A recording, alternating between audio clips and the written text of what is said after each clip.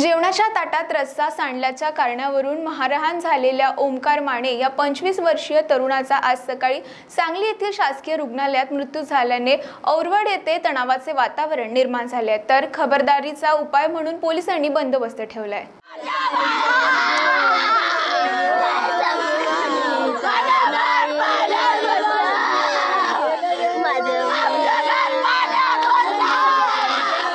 सतरा मे रोजी अनी मोहम्मद पटेल आणि ओंकार माने हे आलस येथील एका हॉटेलमध्ये जेवायला गेले होते. त्यावेळी जेवणाच्या ताटात रस्सा सांडल्याच्या कारणावरून ओंकार शिकलगार प्रकाश शिकलगार आणि कुलदीप सपकाळ यांच्याशी वाद झाला होता. दोन्ही गटाच्या हाणामारीत अनिम महम्मद आणि ओंकार माने हे दोघे गंभीर झाले होते. पोलिसांनी तिघा मारेकऱ्यांना अटक केली आहे. ओंकारवर शस्त्रहल्ला झाल्याने त्याला उपचारासाठी सांगली येथे दाखल करण्यात आले होते. आज सकाळी नऊच्या सुमारास ओंकारचा मृत्यू झाला.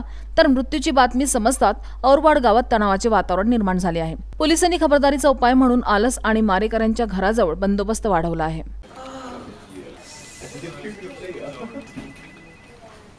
बॉस ने मीटिंग बुलाई. क्या यार? आदमी की तकलीफ को तो समझो।